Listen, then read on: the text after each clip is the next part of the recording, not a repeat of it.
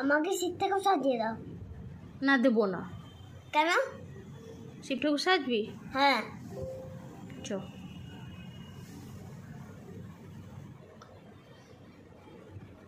তোমাদের ভিতরটা সবাই দেখবে তাই আমাদের ভিতরটা একটা শীত। হুম উঠিস